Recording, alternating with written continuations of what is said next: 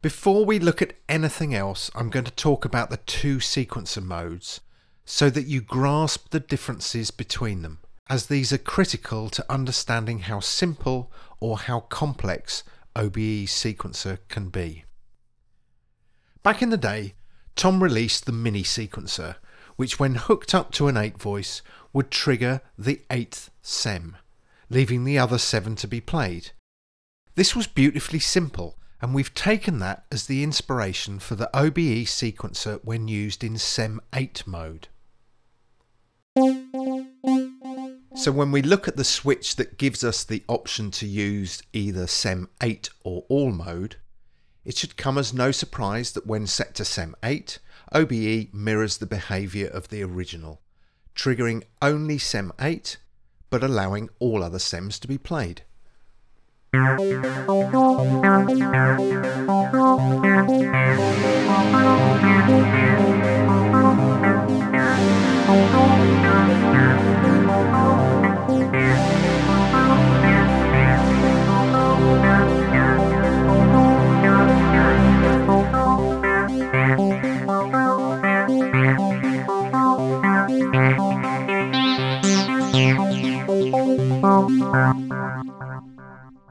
When set to all mode though, the sequencer will function according to the reset or continuous settings in the keyboard mode section.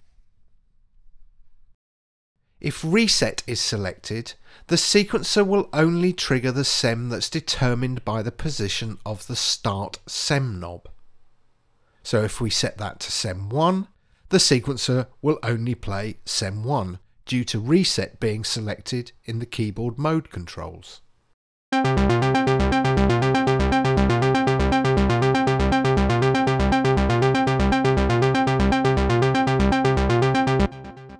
But that's a huge waste of all the other SEMs because in all sequence mode we can't play any of the non-sequence SEMs from our external keyboard. So the ideal keyboard mode for use with the polysequencer mode is continuous.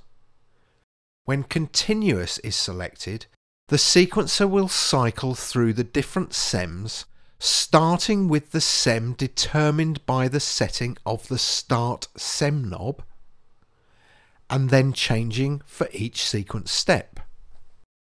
This makes it possible to create complex sequences where each SEM is set to a different sound. Once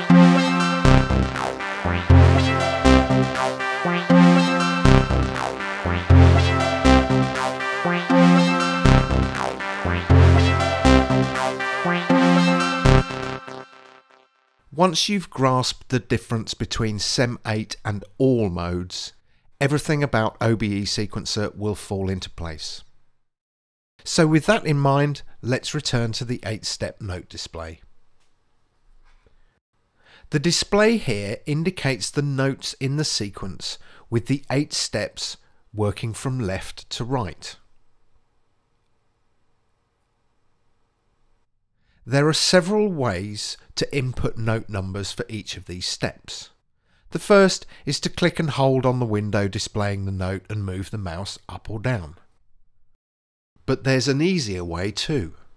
Turn off the sequencer. Play and hold a note on your external mm. keyboard and while holding that note click any of the step LEDs. The step will change to that note and when you're happy with your selection, just turn the sequencer on again. Other note input methods depend on the position of the note input switch. With this switch, it's possible to input notes via an external MIDI keyboard and also to dictate the amount of steps played by the amount of notes held on your external keyboard. In the default position of off, no incoming note data from any external keyboard is used to set any sequencer notes. The notes can only be assigned in each of the sequencer note windows via the click and hold method I described before. In the set position, the notes you play on your external keyboard set the notes on the corresponding sequencer step.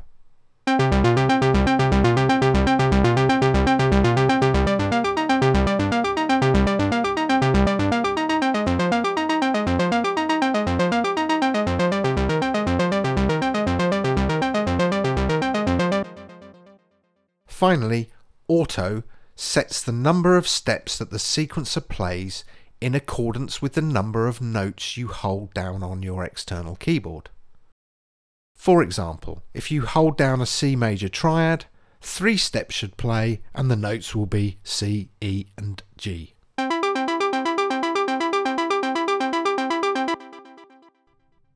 Once a sequence has been created by any of the above methods, it's then possible to transpose that sequence via your external MIDI keyboard while it's replaying. In the off position, the keyboard transpose switch is completely inactive and no transpositions will occur. In the on position, when you play a note on your external keyboard, the entire sequence will relatively transpose to that position. i.e. if your sequence is in the key of C, and with the transpose switch in the on position, if you play an F, the entire sequence will transpose to the key of F.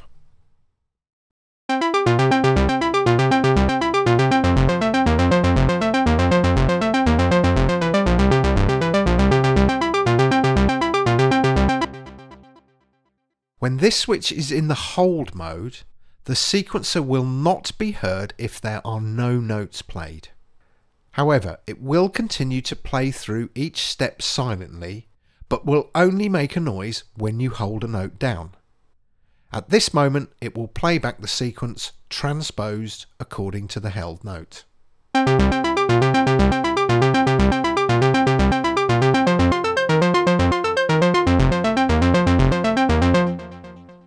Okay, returning once again to the sequence steps. You'll notice that underneath these we have gate and velocity knobs. Well, the gate knobs affect the gate time or the duration the note plays for each of the eight steps.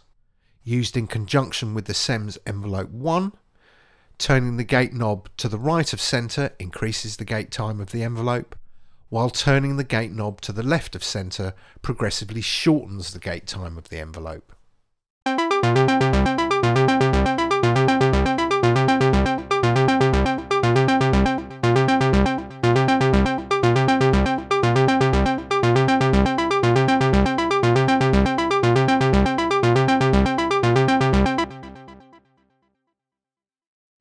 Gate reset button resets all gate times to their default center position. The velocity knobs affects the level or loudness for each note of the eight steps. Used in conjunction with the SEMS volume knob, turning the velocity knob to the right of center progressively increases the level of the corresponding SEM, while turning the velocity knob to the left of center progressively decreases the level of the corresponding SEM.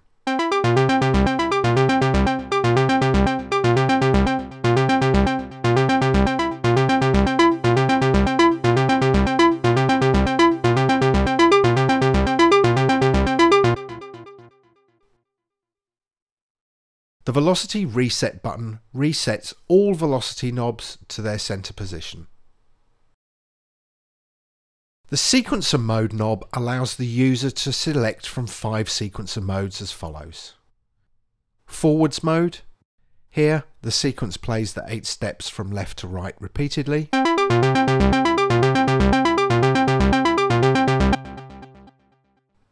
Backwards mode. In this mode, the sequence starts at step 8 and plays backwards to step 1 before repeating.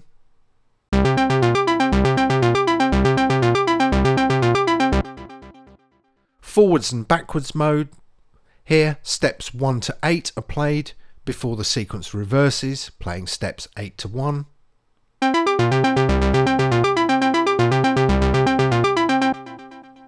Random mode plays random steps repeatedly.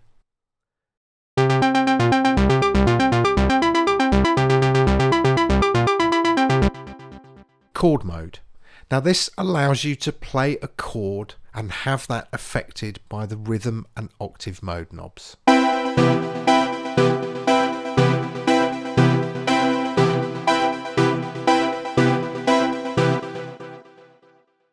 The sequencer rhythm knob provides a choice of 15 rhythmic templates, each with pre-programmed gate, velocity and swing settings.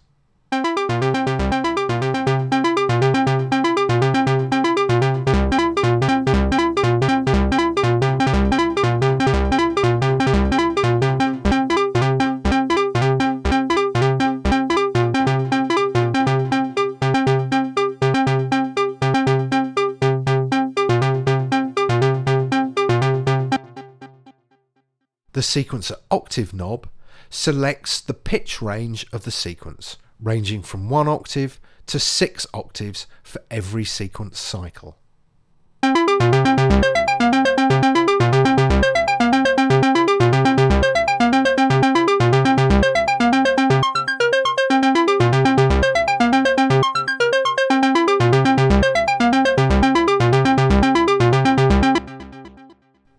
The start sem knob determines which sem the sequencer starts with.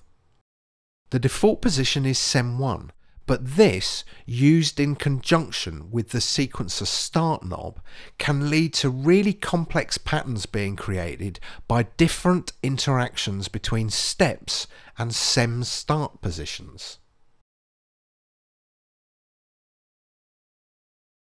Moving on to the sequencer steps knob, while OB-E sequencer has a maximum of 8 steps, via this knob it's possible to change that to anything between a single step and the full 8 steps.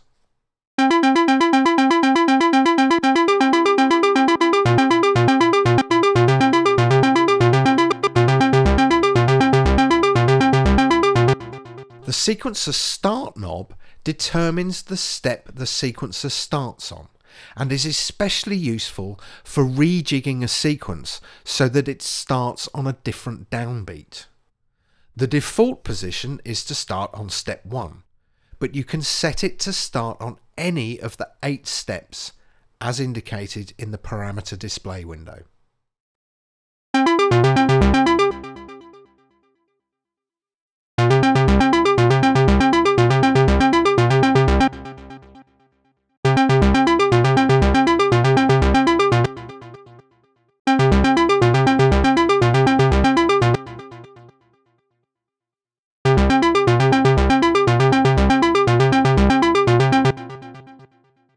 The default rate is synchronized to the tempo of your host at eighth notes.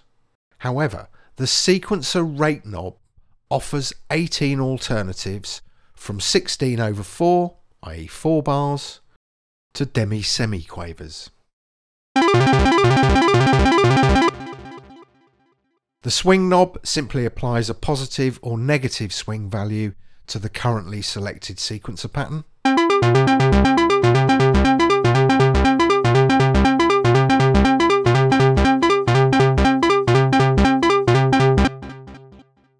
And finally for the sequencer, we'll look at the sequencer function buttons. The load button allows you to load any saved sequencer note values and associated settings into the currently active sequencer rhythm. The Save button allows you to save the currently active sequencer setup, including note values for each step and all other sequencer parameter values. The DAW sync button, when activated, the sequencer will only play when your DAW, Logic, Cubase, etc. is playing. Pressing stop on your DAW will force the sequencer to stop.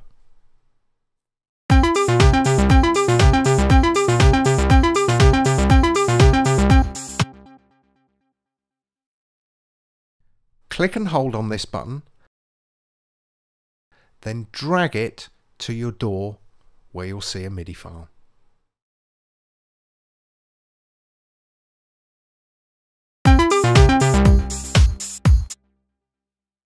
The sequencer scaling. Now this works in conjunction with the sequencer note values and can be used to very quickly shoehorn a sequence into a particular scale. Just right click on the display and you'll be faced with all the scales in major, minor, melodic and natural options. Selecting the desired scale will move the associated pitches in the sequence steps to the correct note values for that scale.